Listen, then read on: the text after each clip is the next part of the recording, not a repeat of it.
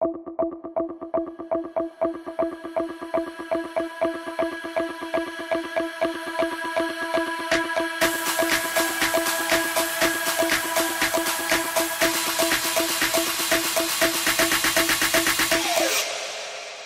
տապանում հյուրընկալել է միջազգային եւ անվտանգության հարցերի հայկական ինստիտուտի փորձագետ, քաղաքագետ Դավիթ Ստեփանյանին։ Պարոն Ստեփանյան, շատ շնորհակալ եմ ժամանակ գտնելու մեզ հյուրընկալվելու համար։ Մինչ Երևանը հայտարարում է, որ Բաքվի հետ քննարկում է Ադրբեջան-Նախիջևան կապը ապահովելու հարցում միջազգային պահնորդական ընկերություն ներգրավելու հնարավորությունը, Բաքվից երեք պատասխանեցին, որ երբեք նման քննարկում չեն ունեցել։ Ավելին, Հաջիզադեն ասում է, որ Հայաստանն ունի կոնկրետ պայմանավորված պարտավորություններ եւ այդ պարտավորությունները պետք է իրականացնի։ Երեք հարց է առաջանում այս թեմայի հետ կապված։ Առաջին, եթե Բաքուն երբեք չի քննարկել, ապա ինչպես է Երևանը նման հայտարարություն հայտարարություն անում։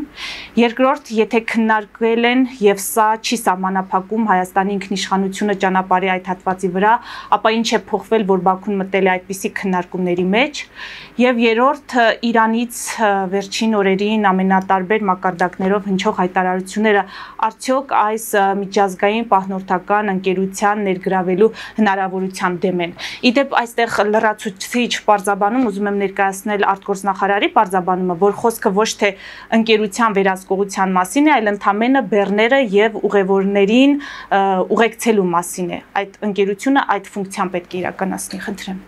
Բաքուն նախ ակնհայտ ստում է, որ քննարկումներ չեն գնացել միջազգային պահնորդական ընկերության մասով, մեզ դա հայտնի է վերջի մի քանի ամսվա ընթացքում այդ քննարկումները գնում են, սա նոր բան չի։ Ես զարմանում եմ ինչի է հիմա այդ թեման այսպես ակտուալացել դա փաստ է, որ քննարկումները գնացել են, դա փաստ է, որ Բաքուն էլ է մասնակցել այդ քննարկումներում, խոսքը գնում է զուտ երկաթուղային, այո, դուք ճիշտ եք նշում, եւ նախարարն է ճիշտ նշում, երկաթուղային բեռների կամ եթե լինի ուղևորային գնացքների ինչ որ անվտանգության անվտանգություն ապահովող մարդկանց մասին, որոնք այդ ընկերությունից ինչ որ ներկայ են լինելու այդ գնացքներում։ Խոսքը սրա մասին է։ Սա Հայաստանի առաջարկը չի, սա արևմուտքի առաջարկն է, այսպես եմ ուզում ասել։ Եվ Ադրբեջանը համաձայնվել է այդ առաջարկը առնվազն քննարկել։ Ես չգիտեմ ինչ է փոխվել հիմա, միգուցե Պուտինի այցի հետևանքներն Բաքվի, որ Ադրբեջանը այսպես կտրուկ սկսում է ստել հերթական անգամ։ Սա ցույց է տալիս միայն մեկ բան, Ադրբեջանը պայմանօղունակ չի նրանք նրանց հետ վարել որևէ բանակցություն եւ հույս ունենալ, որ նրանք վաղը այսօր կասեն հա վաղը չեն ասի, չէ, կարծում եմ դա ակնհայտ է, հնարավոր չի։ Շատ դժվար է Ադրբեջանի հետ բանակցություններ վարել, որովհետեւ ոնց են հուսերն ասում, հա, չեմ պետնիսն են իզելի, հա, 7 ուրբաթ կա շաբաթվա մեջ Ալիևի մոտ։ Ոսկե սրա մասին է, ես ուղղակի կարող եմ ենթադրել, որ Բաքվում ինչ որ Պուտինը խոսակցություն է ունեցել Ալիևի հետ, ինչը ստիպում է այսօր Ալիևի արտգործնախարարի մամուլի քարտուղարին ակնհայտ սկսել ստել։ Իսկ Իրանի հայտարարությունները որևէ կերպ կարող են սրա այս հնարավորության դեմ լինել, որովհետև դուք էլ ասացիք, սա նորություն չի, այս քննարկումները ըստ էության վաղուց են սկսվել։ Կոնկրետ երկաթգծի հետ Իրանի հայտարարությունները խոսքը գնում է արտգործնախարարի, հա, падգամավորների այս մասին է խոսքը, հա։ Չէ, դրա հետ կապ չունի, որևէ կապ չունի դա։ Ա, սա ավելի շատ ես նորից եմ ասում արևմտյան նախագիծ է Ռուսաստան։ Իրանը դեմ է արևմտյան նախագիծ։ Իրանը դեմ է ցանկացած նախագծին, որը իր շահերին չի համապատասխանում։ Իրանը կողմ է հյուսիս-հարավին։ Միակ տրանսպորտային կոմունիկացիա, որ Իրանը ակնհայտ կողմ է եւ որը բխում է Իրանի շահերից, տարածաշրջանը դա հյուսիս-հարավն է։ Բայց դա չի նշանակում, չէ՞, տարածաշրջանի ամբողջական ապաշրջափակում, հաղորդուղիների ամբողջական ապաշրջափակում։ Ոչ, ոչ, ամբողջականը դա հայկական խաչմերուկն է իրականում դա ինչ-որ իդեալիստական պատկեր է, ես հասկանում եմ դա, բայց ամբողջականը դա է, եթե մենք ուզում ենք ամբողջական ստանալ, դա հայկական խաչմերուկներ են կարող լինել։ Եվ Իրանը դեմ է ամբողջական հաղորդումների ապաշրջապատման։ Իրանի հայտարարությունները ես չեմ դիտարկի այս համատեքստում։ Իրանի հայտարարությունները ես կարող եմ ուղղակի տարբեր վարկածներ քաշել, Թիվ 1 վարկածը դա այն է, որ Ռուսաստան Ռուսաստանի դեմ է չէ ուղղված։ Ռուսաստանին է նրանք ասում, որ դեմ ենք։ կապված Զանգեզուրի միջանցքի հետ այսպես կոչված, որ Ռուսաստանը ակնհայտ լոբինգով է զբաղված այդ նախագծի եւ փորձում է հերթական անգամ առաջ քաշել այդ թեզը, որը ժամանակին Ալիևն է հորինել, դա առաջին վարկածն է եւ երկրորդը, որ Իրանը սա օգտագործում է որպես պատրվակ եւ ունի այլ խնդիրներ Ռուսաստանի հետ, որը այսօր բարձրաձայնում է այս կերպ։ Որոնք են այդ խնդիրները։ Ես կարծում եմ, որ Իրանը ունի այսօր մտել է բանակցությունների մեջ արևմուտքի հետ։ Այդ վարկած է ուղղակի, ես վստահ չեմ, տեղեկատվություն չունեմ։ Տրամաբանությունն է խոսում այդ մասին եւ նրան պետք է պատրվակ, որպես Ռուսաստանի հետ հարաբերությունները մի փոքր կոշտացնել, որովհետեւ այսօր նա ականհայտ Ռուսաստանի կողմն է պահում ուկրաինական պատերազմում եւ զինվորական զինտեխնիկայի մատակարարումներ անում Ռուսաստանը։ Հիմա նախքին հատուկ հանձնարարություններով դեսպան Էդմոն Մարուկյանը պնդում է, որ նոյեմբերի 9-ից դուրս չգալով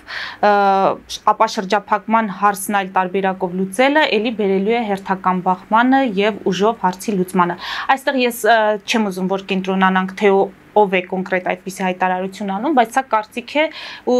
դուք այս մասով ինչ կարող եք ասել։ Եվ Իրանի անհանգստությունները արդյոք իսկապես պայմանավորված են ուժով այդ ճանապարհը բացելու հնարավորության հետ։ Ես կարող եմ վստահ ասել մեկ բան, նոյեմբերի 9-ի տրամաբանությամբ կոմունիկացիաների, այսպես ասեմ, վերաբացումը չի կարող բխել Հայաստանի շահերից, որովհետև ուղղված է Հայաստանի շահերի դեմ եւ ուղղված է Հայաստանի ինքնիշխանության դեմ։ Սա մեզ համար ուղղակի կոմունիկացիաների վերաբացում չի։ Սա հարված է Հայաստանի ինքնիշխանությանը, սա Հայաստանի ապագա մասնատման գրավականն է։ Եվ այդ գործընթացը երկար չի տևի, եթե մենք գնանք այդ ճանապարհով։ 44 օրյա պատերազմի հիմքում ընկած էին շատ խորը պատճառներ։ Այնտեղ չի եղել զուտ Արցախյան խնդիրը, չի եղել զուտ Արցախը կիսելու խնդիր, այնտեղ եղել է Արցախյան խնդիր, այնտեղ եղել է Հայաստանի հետագա մասնատման խնդիր, այնտեղ եղել է ուկրաինական պատերազմում Ռուսաստանի թիկունքը ապահովելու խնդիր, տարածաշրջանում ամբողջական աշխարհակահաղական ստատուս կվոյի խնդիր, որոշ խնդիրներ լուծվել են, ինչպես տեսնում ենք, որոշ խնդիրները չեն լուծվել։ Այդ համատեքստում ինձ համար գնալ գնալ այդ ճանապարհով եւ այդ երակողմի 9-րդ կետը իրականացնել հավասարազոր է պետական դավաճանության, որովհետև սա ուղղված է Հայաստանի ինքնիշխանության դեմ։ Ես նորից եմ ասում, սա ոչ միայն միջանցքի խնդիր է, այլ Հայաստանի մասնատման գրավականն է։ Ինչ վերաբերվում է պարոն Մարուկյանի անհանգստությանը կապված այլ տարբերակների, որևէ մեկը չի կարող այսօր երաշխավորել, որ վաղը Ադրբեջանը չի կարող, չի փորձելու ուժով դա լուծել։ Այո, այդ հավանականությունը կա այստեղ կա մեծ դաշտի աշխատանք եւ մենք պետք է անենք այդպես, որպեսզի այդ հավանականությունը բացառենք, հնարավորություններն էլ կան։ Բայց ես նորից եմ ասում, այլ տարբերակը նոյեմբերի 9-ը դա ամենավատ տարբերակն է գոյություն ունեցող տարբերակներից։ Այստեղ ես 100%-ով վստահ եմ։ Հիմա նոյեմբերի 9-ի 9-րդ կետը ամենավատ տարբերակն է, մեր շահերից ոչ մի կերպ չի բխում, պարոն Ստեփանյան, բայց Հայաստանը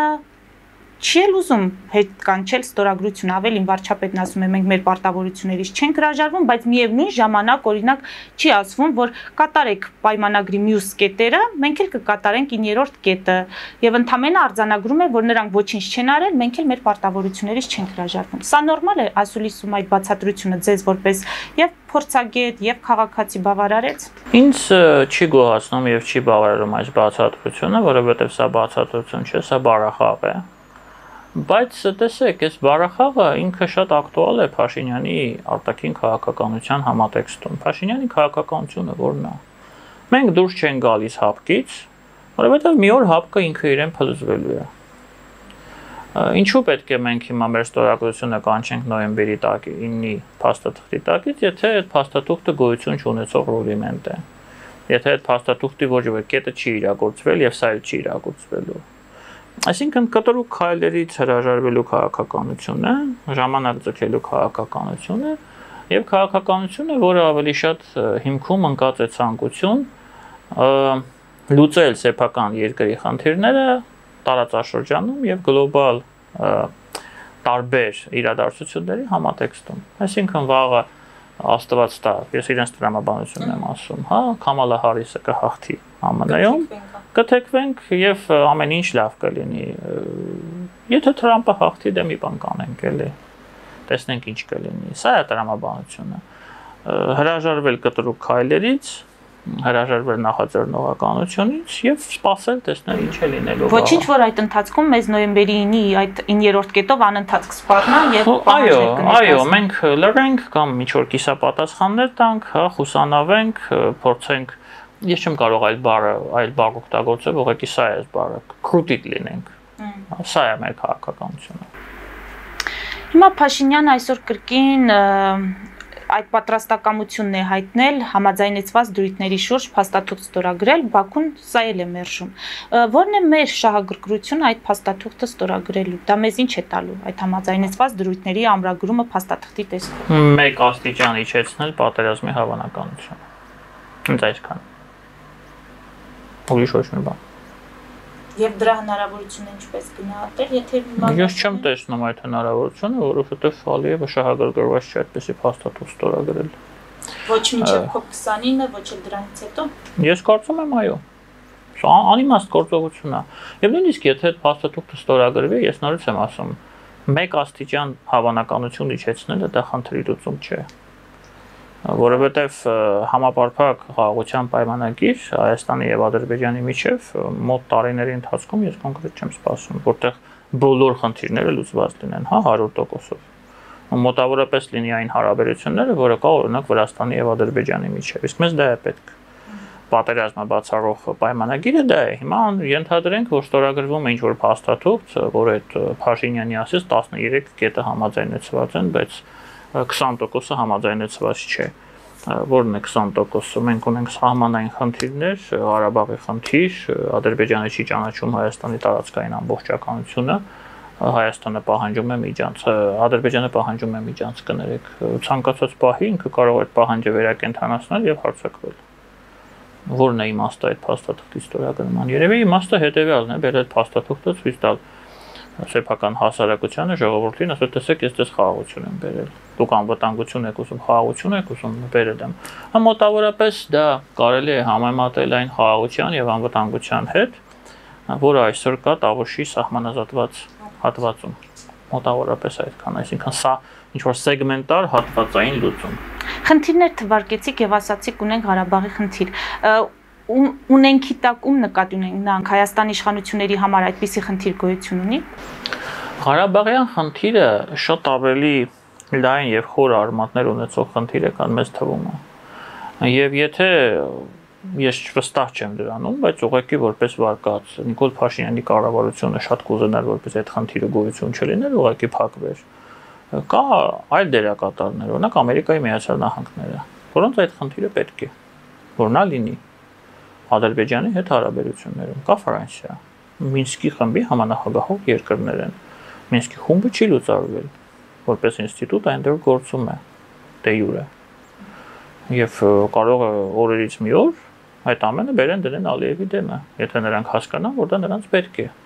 եթե նրանց հենց ինքը կողմ դե իհարկե որ Հայաստանին չէ կարմիր գիծը Ալիևը հատից կբերեն կամացանեն աչքը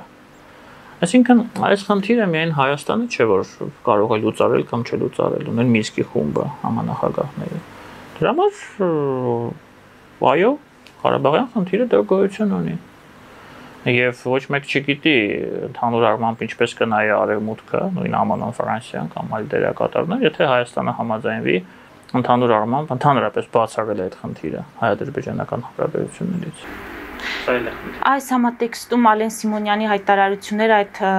Արցախը չկա, հետեւաբար Հայաստանի եւ Արցախի միջխորհրդարանական հանձնաժողովների նիստ գումարելու իմաստ չկա, սա ինչպես կգնա։ Ալեն Սիմոնյանը ձգտում է ազատվել պարազիտներից, քաղաքական պարազիտներից, կոնկրետ տվյալ դեպքում այսպես կոչված Արցախյան քաղաքական էլիտայից, որոնք պարազիտանում են այս խնդրի վրա։ Այսինքն նրանք մատը մատին չեն խփում արցախցիների իրավունքները պաշտպանելու համար, Ինչ պետք է անեն, պարոն Ստեփանյան։ Ինչ պետք է անել։ Այո։ Ունակ հավաքվեն արցախցիների, իրենք են չէ Արցախի բնակչությանը ներկայացնում։ Ու դիմեն կոլեկտիվ հայտով միջազգային դատարան։ Ահա ներկայացնեն իրենց շահերը։ Հայաստանի ղեկավարության արչև բերեն մի հատ փաստաթուղթ դնեն, որտեղ իրենց պահանջները ներկայացված լինի Ադրբեջանին եւ ձգտեն, փորձեն ստիպել Հայաստանի ղեկավարությանը դա տանել ՄԱԿ։ Բայց եթե Հայաստանի ղեկավարությունն ասում է հարցը փակված է։ Չէ, բայց իրենք չեն էլ անում, չէ՞ դա։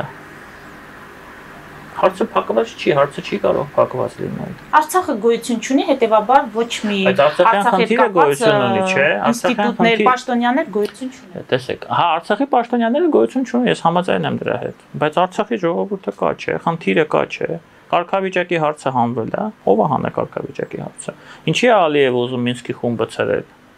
Որտեվ քանի որ կա Մինսկի խումբը, կա խնդիր։ Հասկանում եք, սա ուղղակի բարդ չի, սա բարախախ չի, սա իրականություն է։ Կա իրավունք։ Արցախի ժողովուրդը, Լեռնային Ղարաբաղի ժողովուրդը ունեն իրավունք։ Իրավունքներ, այդ իրավունքները ոտնահարված են, ցեխի մեջ են հիմա գտնվում։ Եվ որևէ մեկը չի զբաղվում այդ հարցով առաջին հերթին Արցախի իշխանությունները այսպես կոչվում։ Արցախի իշխանությունները չեն զբաղվում, բայց այդ հարցը բարձրացրել է օրինակ խորհրդարանում Հայաստան խմբակցության ներկայացուցիչը, այսինքն նրանց միջոցով են հարցը բարձրացրել եւ ստացել են այսպիսի պատասխան։ Ոչ, Հայաստան խմբակցության ներկայացուցիչը եւս պարազիտանում է այդ խնդրի վրա։ Սա մանիպուլյացիա է, սա գործողությունների իմիտացիա է։ Իրենք չեն ուզում այդ խնդիրը բարձրացնել իրականում։ Սա է խնդիրը։ Խնդիրների խնդիրը սա է որևէ մեկը չի ուզում խորհրդարանում է չէ բարձրացրել որևէ մեկը չի ուզում իր վրա պատասխանատվությունը վերցնել ժողովրդի ճակատագրի համար դա եղել է մինչև 20 թվական Արցախում դա եղել է բլոկադայի 1 տարվա ընթացքում 23-ին դա հիմա է 23 թվականի էթնիկ զտումից հետո ոչ մի բան չի փոխվում։ Բայց նույնը չեն կարող ասել նաև իշխանության ներկայացուցիչների մասին, որ նրանք էլ ձգտում չունեն այս համայնքի հետ, այս բնակիչների հետ աշխատելու, գույքագրելու հարցերը, խնդիրները համապատասխան կառույցների ունեն, նրանք ուզում են այս Լեռնային Ղարաբաղի ժամանակներին տալ քաղաքացիություն եւ հարցը փակել։ Քաղաքացիություն տալ, այդ գումարները տալ միանավակ, նրանք իրենց համար ինչ որ գույք գնեն, տուն գնեն եւ վերջ։ Նրանք հարցը այդպես են ուզում փակել։ Ալիևը 30 տարի փախստականներ է պահել ճամբարներում։ Եվ այդ հարցը բարձրացրել է, ստե կոմպակտ բնակվող հայ բնակչության Արցախից զտել են, էթնիկ զտում են իրականացրել, հա, ազգային չափանիշներով, հա, իրենց ազգության համար։ Եվ ոչ մի բան։ Եվ մարդիկ ուղղակի գոյություն չունեն այստեղ հիմա։ Սա նորմալ է, սա։ Սա մի բանի մասին է վկայում, որ իշխանությունը ուղղակի ուզում է այնպես անել, որ խնդիրը չլինի։ Ինչու ես չգիտեմ գլոբալ խնդրով եզրափակենք մեր հարցազրույցը պարոն Ստեփանյան հիմա ռուս-ուկրաինական ճակատում ինչ է կատարվում ձեր դիտարկումները վերջին ինչ են ցույց տալիս Կուրսկում իրադարձությունները դրաֆոնին Շոլցի հայտարարությունը, որ հնարավոր է Ռուսաստանի ներգրավեն այդ խաղաղության հերթական համաժողովին, բանակցությունների հնարավորությունը, հաշտեցման հնարավորությունը։ Անորոշություն է իրականում, շատ անորոշ վիճակ է եւ որոշակիություն չկա այս ամենում։ Ուկրաինան մի մակարդակ կոնֆլիկտը բարձրացրեց, երբ որ մտավ Կուրսկ, եւ նրանք փորձում են ստեղծել հիմքեր եւ դիրքեր, սեփական դիրքեր ամրապնդել, երբ որ այդ բանակցությունները սկսվեն, իսկ մի օր մենք բոլորս գիտենք բանակցությունները սկսվելու են, որպեսզի կարողանան հանդես գալ ավելի շահեկան դիրքերից։ Դե հիմա Շոյգուն այսօր ասում է, որ միջև Կուրսկը չազատագրվի ուկրաինական զորքերից, նրանք բանակցությունների ընդհանրապես չեն գնալու։ Գիտեք, սա իրականում այս կոնֆլիկտը գնալով խաղադրույքները միայն բարձրանում են եւ ինքը արդեն էգզիստենցիալ է գոյական գոյաբանական եւ Ռուսաստանի համար կոնկրետ Պուտինյան ռեժիմի համար եւ Ուկրաինայի համար որպես պետություն, որովհետեւ պարտությունը երկուսի համար է նշանակում է վերջ։ Այսինքն եթե Պուտինյան Ռուսաստանը պարտություն է կրում Ուկրաինայում, նշանակում է այդ ռեժիմը անելիք չունի ընդհանրապես ոչ իրեն ընդհանրապես որևէ մեկ իրեն Պարտությունը դա զորքերի այդ հետ քաշումն է կամ դուրս բերումը, հա։ Դուրս բերումն է Ուկրաինայի սահմանների վերականգնումը ար 91 թվական այդ նույն Ալմատի հրճակագրի համաձայն, որը իդեպ Ռուսաստանն էլ է ստորագրել եւ Ուկրաինան էլ է ստորագրել։ Նույնը Ուկրաինայի համար է, եթե նրանք ստորագրությունը Զելենսկին ստորագրություն է դնում մի փաստաթղթի տակ, որը փաստացի օրինականացնում է Ուկրաինայի հարավ արևելքի օկուպացիան, դա իր անձնական քաղաքական վախճաններ լինելու։ Եվ նա էլ է դա շատ լավ հասկանում։ Վերջը վերջո կա նաև արևմուտք, որը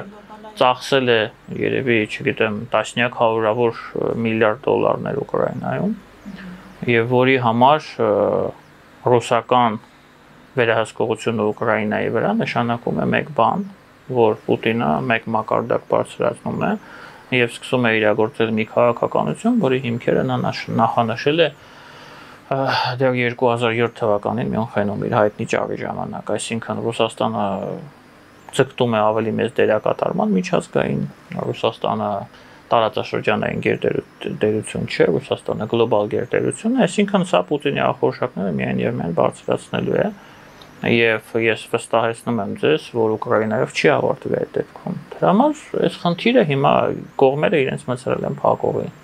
Եվ որևէ մեկը չի կարող նահանջել։ Նահանջի տեղ չեն թողել իրենք իրենց իրենց գործողությունը։ Արևմուտքն էլ զբաղված է սեփական ընտրություններով, ապասիվություն ասել, որ այս պահին կոնկրետ արևմուտքից մենք пассивություն ենք նկատում բոլոր ճակատներով։ Արևմուտքը այդ пассивությամբ ձգտում է